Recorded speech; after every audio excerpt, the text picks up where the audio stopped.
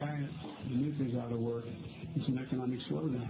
When your brother-in-law's out of work, it's a recession. When you're out of work, it's a depression. What's a depression? What's a depression? That music, I think that we're going to hear, is the sound of gloom and doom. And if we're playing it, well, that can only mean one thing. The great Marc Faber, author of the Gloom and Doom Report. And all jokes aside, when this man talks, markets in fact do listen. He correctly identified the tech bubble, and now he's setting his sights on China. Marc joins us on the phone from Bangkok. Uh, his time this morning. Marc, great to have you with us. Yeah, I'm actually in Chiang Mai. Oh, you're in Shanghai. Okay, fantastic. Chiang Mai. Happy New Year. Oh, Chiang Mai. Oh, excuse me. Sorry about that. No problem. Uh, when it when it comes to uh, China, Marc, is that going to be the greatest threat to the uh, U.S. markets? Because I know in your report you said you would anticipate the U.S. markets to fall about 20 to 40 percent from the January highs we've seen.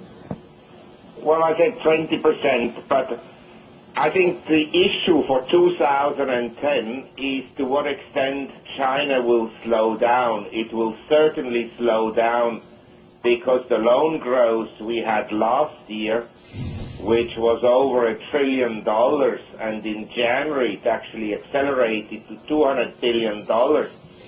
So in other words, bank loans in January were rising at an annual rate of something like two and a half trillion dollars on a GDP that is slightly over four trillion dollars.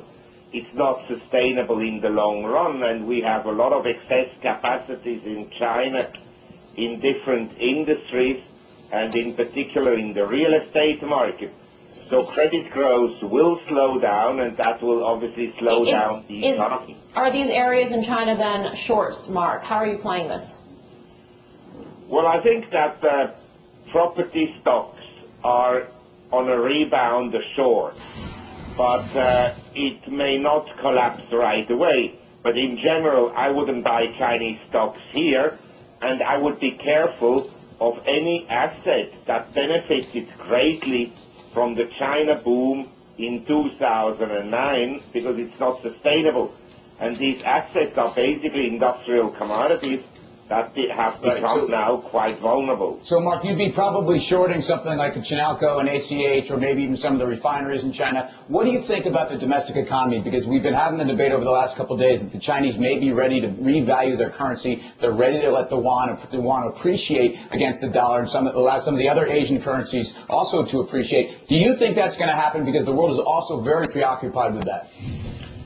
Well, I'm not sure that the Chinese will let the yuan appreciate much right away, but I think over the next 10 years, you're looking at an appreciating currency. Ten years is a long Uh, time, though. I mean, it, you know, the expectation is this is something that could happen in the next year. Do you believe that's true? Yes, I mean, it could happen, say, 5% or so, but I would be looking at the doubling of the currency in value against the US dollar over the next 10 years or so. Dr. Faber, it's Karen. Would you, um, if, if that China story were to play out as you expect, we would, I expect, see deflation. Would that make you a buyer of U.S. Treasuries? No, I think any kind of deflationary pressures would immediately lead to central banks around the world to print money again at a very high rate. And that would especially apply to the United States. So I think that I would be a seller of long-term U.S. Treasuries on any rebound. So, Dr. Faber, where would you want to be looking forward 9 to 12 months? What are the assets that you believe investors should want to own? Well, I think that uh, not just for the next 12 months, but for the next 10 years, cash and government bonds are unattractive because what we will get is money printing and higher and higher rates of inflation in the world. And so you want to be either in real estate or in commodities or in equities or in precious metals. And I'm separating here precious metals from commodities because commodities are very much driven by industrial production and capital spending, whereas precious metals will be perceived as, say, a safe currency. Right. Uh, Dr. Faber, it is a pleasure to speak with you. Hope you will come on the show again sometime soon.